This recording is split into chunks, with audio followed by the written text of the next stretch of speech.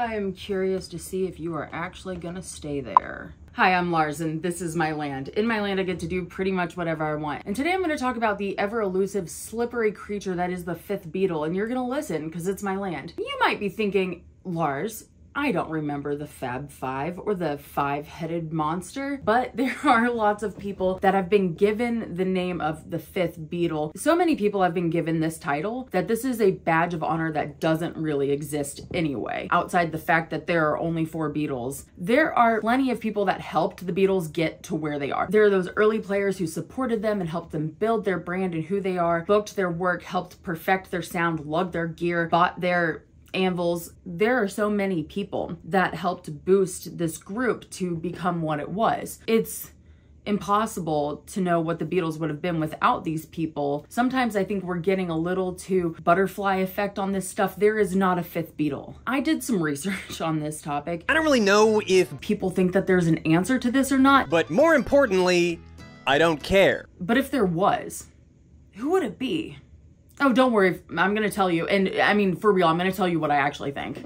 I'm not going to like just fence it. I'm going to tell you. Welcome to Annoying Memos Land. Beepity beep beepity beep beep. If you're new here, I talk mostly about the Beatles, but I'm also interested in TV and movies. And I wanted to let you know that I am going to be adding in some new stuff starting next week, but it's it's music.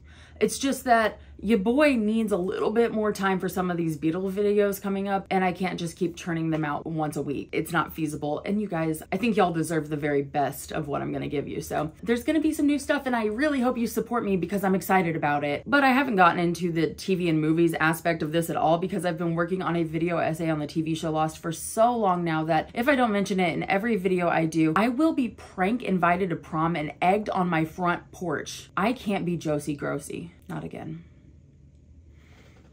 Not again. I would absolutely love it if y'all would like and subscribe and all of that jazz. It helps me out a whole lot and it's free, baby. It is free. Follow me on Twitter at This Is Larsland and any other place. If you can't find me, then I'm not there. Let's go back to my land. So in one interview, Paul said that if there were to be a fifth Beatle, it would be Brian Epstein, the Beatles manager, and George Martin, which is the Beatles producer. George Harrison said that if there were to be a fifth Beatle, it would be Derek Taylor, which was the Beatles press officer, and Neil Aspinall, which was like the Beatles business manager. Like he's he's he's Neil. I don't know how to describe his um, position. Those are what actual Beatles have said that. But both of them also said that there is no fifth Beatle. It's just the four of them. There was no secret component or extra person that made them exactly what they were. I think everyone can know that, right? And while George did mention Derek Taylor as one of the fifth Beatles, I um I personally don't see that, so I didn't make a section on him. Maybe later. I want to say this. I'm going to I'm going to let y'all burn me. I don't care if it was Brian Epstein or anyone else. I don't care if it was George Martin or anyone else. The Beatles and who they were would have made it the way that they did because it was them. There that sort of mania doesn't have to I I don't care if it was Brian Epstein managing them or George Martin producing for them. I believe that the Beatles would have made incredible music and an impact on the world without them, okay? And a lot of people will say that Beatles wouldn't be what they like I'm I just I can't say that. I can't say that. There were so many other opportunities that the Beatles could have had that were bigger and different and more lucrative and they became what they were with these deals. So it's kind of like, you know, Brian has had lots of praise, but also some criticisms. It's like a, I'm going off on a tangent right now, but I just can't say that there is one particular person or all of these particular things that created this thing. The Beatles were very different from any other band. It's just obvious to me and it's obvious to the world. What I think is going to be really fun about this, I have like a problem, a particular issue, an obsession with the Get Back documentary, the Nagra tapes, that entire, the Let It Be, all of it. So fun for me is that the fifth Beatle topic and a lot of the people that come up in this video are talked about in Get Back. I mean, I just like giving our band, actually. Yeah. I like a fifth Beatles. And I get to show my Get Back obsession for this video. I'm excited. And it's also good because Get Back was in January 1969, right? So that is like at the end of the Beatles. Now, there was a lot of tension. That's kind of part of the it colored the documentary. But if it is going to be your last TV show, your only TV Yeah, show. you're only oh. surmising, Robbie. Oh, Just yeah, I'm because just- we no, got a bit but- grumpy. no, I am, but- We've been getting grumpy for the last 18 months. But I think that it's good to see where the conversations were, how the mindset was at the end of the Beatles. I also think it's important to mention that people's opinions, thought processes, and truths or whatever change over time. Our boys have said lots of things. Some of them meant it, some of them meant it to hurt each other, and some of them have really changed their tune on a lot of things over the course of years. We can get really uh picky about who said what about who deserves credit here and there. And the reason why I'm putting up this disclaimer is that these are all very important people to the Beatles. I will be doing the different video because there's so much here. In no way am I trying to discount or like remove or invalidate their purpose with the Beatles, right? If we are starting, well, at the very beginning, then we need to start with before the Beatles. The lineup actually changed a whole lot in the early Beatles history with George George, John, and Paul being very steady members, but also people like Stuart Sutcliffe and well, a bunch of other people. Just wanted to add a few things. Stuart Sutcliffe was very important. He was an art student with John, to whom he became so attached that he pulled into the band. Stuart did not play any instruments, but he was drafted to play bass. He was so bad that during live shows, he would face the amps because he didn't want people to know that he couldn't really play. But he did play for a while until he eventually was like, John, I just... I'm not into it. When they went over to Germany, he met Astrid Kirchherr. Well, they all met Astrid Kirchherr and Klaus Voormann. They were dating at the time. And they became really good friends and eventually fell in love. Then Stuart died in a very untimely death. And why don't I have the date in here? He died when he was 21 on April 10th, 1962. And his death was caused by an aneurysm. Stuart really does need his own video. And I make a lot of jokes about this throughout the video. But he was very important to John. But let's be realistic. He had no bearing on the Beatles music and definitely doesn't belong in this list, right? Sorry. I've talked about the lineup in the fascinating history of the Beatles drumming video. So if you want to learn more about that, I have that. But even in that video, there are like a few tour drummers that I neglected to mention. There's a lot of them, but for two years of the Beatles' existence, the drummer was Pete Best. They knew each other through mutual friends, but also because a local gig place, the Casbah, was run by Mona Best, Pete's mom. There's a lot there including Neil Aspinall.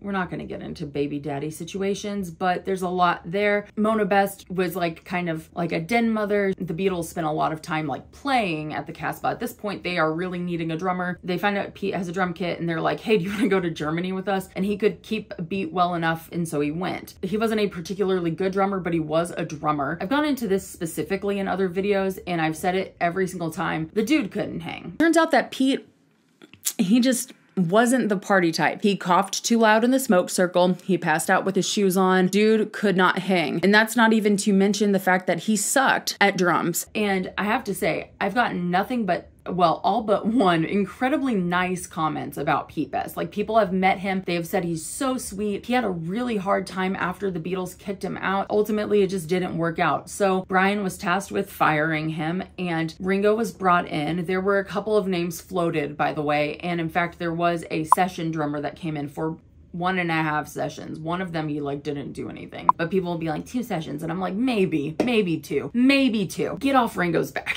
then Ringo became the Beatle. Pete Best has a following in Liverpool and in the UK, but that is a different video. Actually, before Brian was the Beatles manager, Pete was the Beatles manager. He was the one with most access to the telephone and nobody wanted John taking the calls. This is a true fact according to Pete Shotton, John Lennon's childhood best friend. That boy is not to be trusted with the public, obviously. There's a lot of information on Brian and he needs his own videos, but I'm gonna keep this as brief as I can. So nitpick in the comments, I do not care. This is what I said. I'm literally writing this at 11.08 p.m. on a Wednesday and it is not the time, Ruben. Sorry, Rubens. It was truly the third name I came up with. The first one was George and I was like, well, that's not gonna work. I got a George on this list. The next one I came up with was the name of my brother's childhood best friend and a main character on the TV show Scrubs and also the name of a music YouTuber. So I was like, maybe let's go with Ruben. Incidentally, this is a perfect time considering that I've got more visitors here in my land than ever that I talk about my rule. Now, what's a rule? Research Lars. I don't consume content on the topics I cover.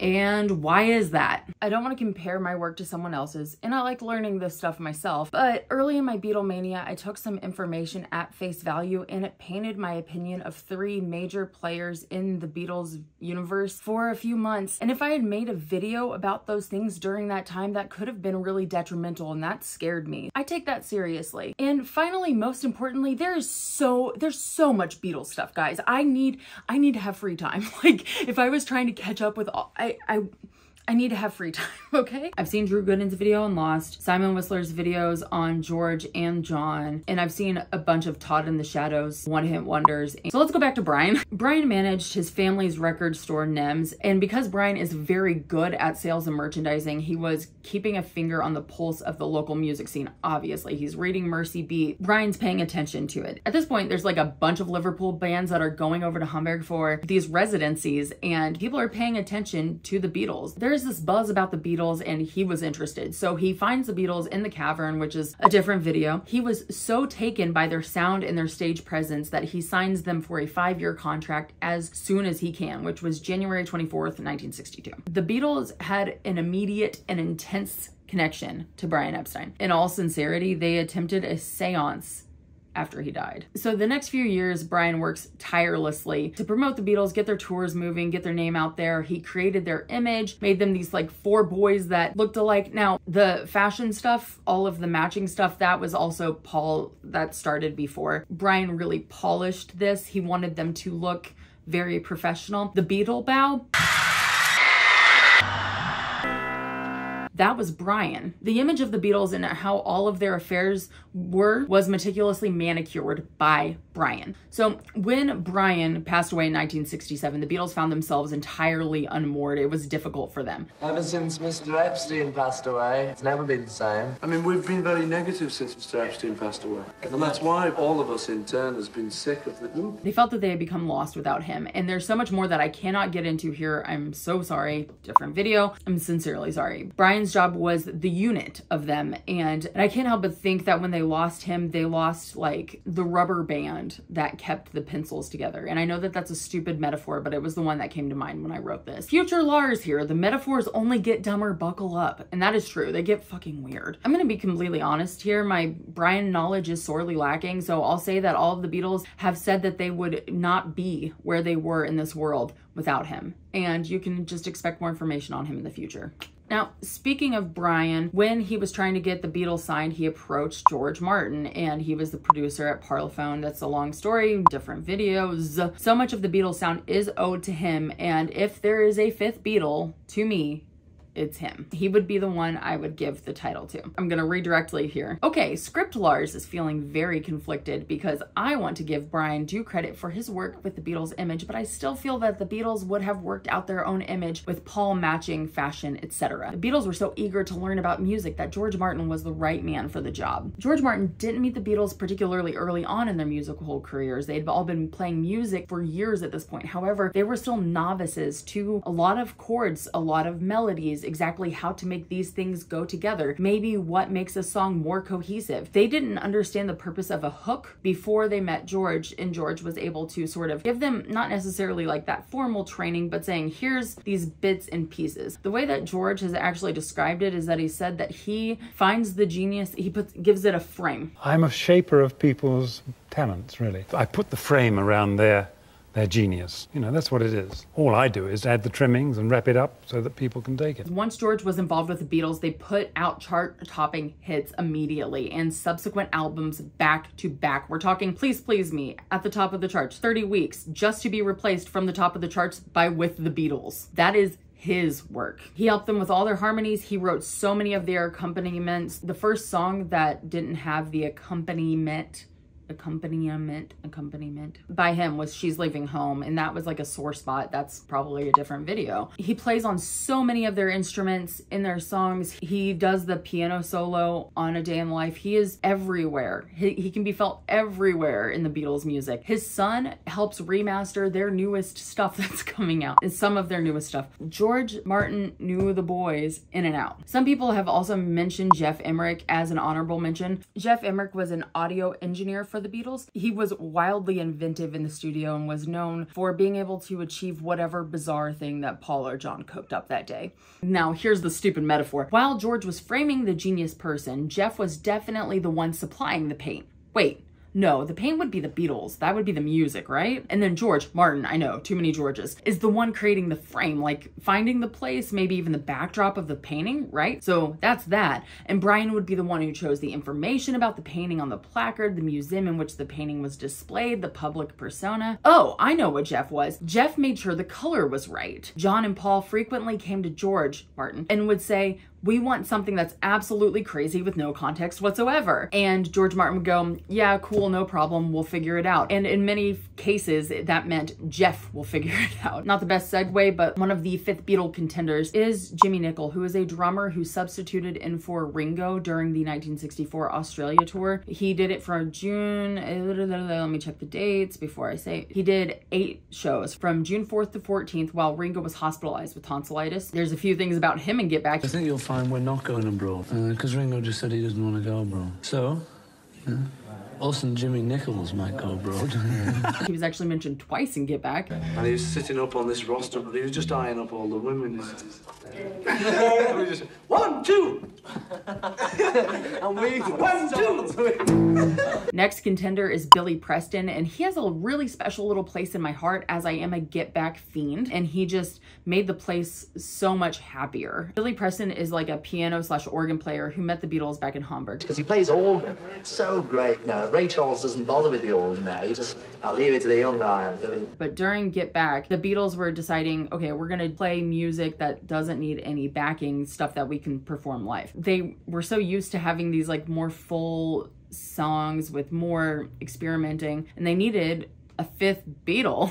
Every number's got a piano part, and normally we overdub it, you know. Uh-huh. But this time we want to do it live. And they needed a piano player. Luckily, Billy Preston was in the UK and he swung by. On scene, so if you'd like to do that, you're welcome. Sure. Beautiful. Right, and then you'd be on the album. and he got pleasantly roped into doing this project. So he shared a credit on Let It Be, and he also got signed with Apple, and I think had a few studio albums with them. So it worked out well. Billy Preston is beloved by everyone. He went on to work with other Beatles and George in particular later on in life. So Billy Preston was definitely a great force, but certainly not a fifth Beatle. Okay, so here's like the main fifth Beatle thing and Get Back that I want to talk about.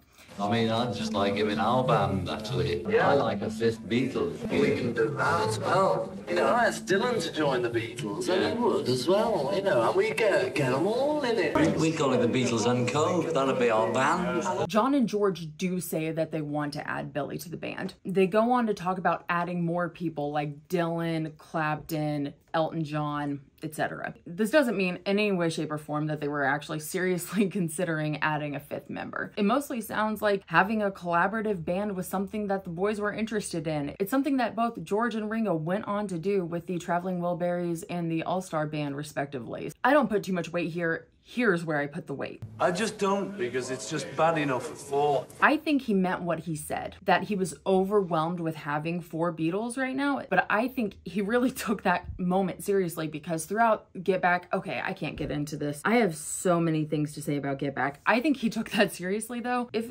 Paul were able to keep the Beatles together at this point, there was no way he was going to let anything else breach that group. No way. Now we need to talk about some honorable mentions, I guess is where I would put them. There are so many people that I'm not even remotely touching on right now. There's like a point where it seriously does get to butterfly effect. Like if they didn't meet so-and-so, then they wouldn't meet so-and-so and it gets so much. Here's some people that are just listed here. Chas Newby, press officer Derek Taylor, guitarist slash musician Tony Sheridan, drummer Andy White, Eric Clapton, Klaus Voormann, DJ Murray the K, and a few others I do not care about. The Beatles kept their circle very small. They only like hired from within. Even with people that were wildly wildly unqualified for the positions that they were being hired for. Different video. They only trusted a few people and they had reasons to not trust people. So a couple of the people that are very important are Neil Aspinall and Mal Evans. Neil Aspinall started out as a school friend of Paul and George's, but he became basically their right hand man. He started out as their road manager and then eventually just became their like assistant, like executive assistant, and he just oversaw everything. He was one of the people that made sure the wheels kept moving. When Olivia Arias accepted George's Rock and Roll Hall of Fame induction or whatever, she said that Neil Aspinall was the one, that he was the one to thank. And it's the person in this room that George knew the longest in his life, and someone who looked after him and all of them from the time they were 13 to for George the end of his life. And that's the mysterious Neil Aspinall. Neil drove them from gig to gig. He made sure that the boys got places. And many times I'm pretty sure that he kept them in line. There's like a photo, one of the photos of a fan assaulting Paul and Neil's just behind him, just like, oh, good God, I lost Paul. I'll be honest, I know very little about Neil, except for that he was so incredibly important to them. Mal Evans, um, I actually don't he was the road manager and personal assistant of the Beatles. He worked with them from 1963 to 70. So Mal worked part-time as a bouncer at the Cavern, which is a different video, right? You know, and that's how he met the Beatles and then Brian hired him on as like a roadie. And then over time, it says, this is Wikipedia, over time, Evans became a constant companion to the group being present on all of their tours and after the Beatles stopped touring in 1966 at nearly all of their recording sessions. And that is true. Mal does everything. Mal, we should get a hammer and an anvil. See you later. Okay, Mal is awesome. He is our clang clang Maxwell silver hammer came down upon her head. He is the clang clang. He has the most heartbreaking story ever. Oh, that's a video I have seen. There's a video about Mal Evans' tragic life. It is heartbreaking. I'll just look it up right now. Jeff Whitcher, Vinyl Destination, and it is episode 589. This guy's done 589 busy. Okay, anyway, the video is the life and tragic death of Beatles roadie Mal Evans, and it was a very good video. And someday I will also do a video on it, but in the meantime, I highly suggest you go watch. I mean, it will break your heart. I'll have it linked below with all my sources and stuff. I have to say, the Beatles videos that I've seen are totally good, and that's why I, I mentioned them. But Mal sincerely was like everything. He did everything for the Beatles. No matter what was going on with the Beatles world, he was going to be needed there. There's a lot of time in Get Back when he's bringing them tea, but he's also going out and getting George a tie or finding someone to get it. Al, get send somebody to buy me a, you know, those lace bow ties? You can one of them, a black one. A cowboy string tie. Yeah, but they get them that just clip on under your collar. He's writing John's lyrics. He is helping write lyrics with Paul. He also contributed lyrics to songs. He co-wrote a song on Ringo's album. If you want to learn more about that, you can watch my video on the Ringo album. It's a good video. It's solid. I do Ringo justice here. For real, Mal did everything. There's a famous, famous, famous story. The Beatles were driving on a tour. Mal was driving them and something hit and broke the glass on the windshield. And it was snowing so badly that Mal couldn't see and he had to punch out the windshield so he could drive. So he is driving like this and the boys are in the back on top of each other, rotating. And whoever is at the top is the coldest. And then they would just switch and go back to the bottom. And they called it a Beatle sandwich. That's a story that Paul tells all the time. It's very cute that our guys are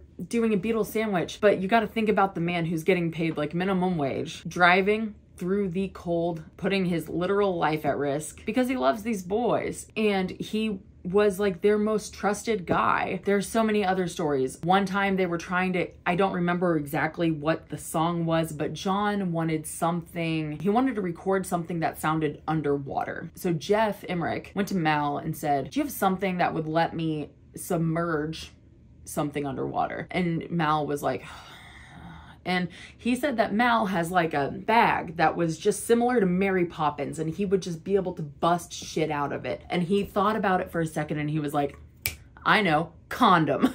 They put the thing in the condom. The first half of this video was heavily scripted and the rest of it is not. It's my favorite way to do things.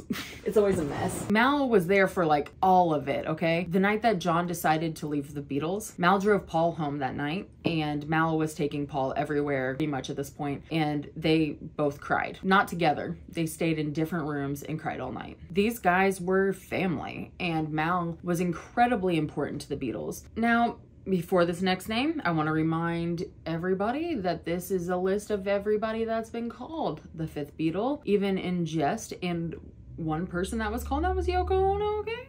Uh, Yoko Ono? Shut up, it's not my fault, okay? I do not think that Yoko in any way, shape, or form is any sort of Beatle. I don't think that she has any real tangible bearing on any of the Beatles' music or whatever. And the rest of it is a different video different videos. God. There are a lot of people who helped the Beatles become the Beatles and a lot of people who supported them long after. But it's pretty obvious that the Fab Four are just that. Four. John, Paul, George, and Ringo. Thank y'all so much for visiting my land. I would absolutely love it if y'all would like and subscribe and all of that jazz. It is free and it helps me out so much. I love y'all so much. And y'all come back now, you hear? Bye.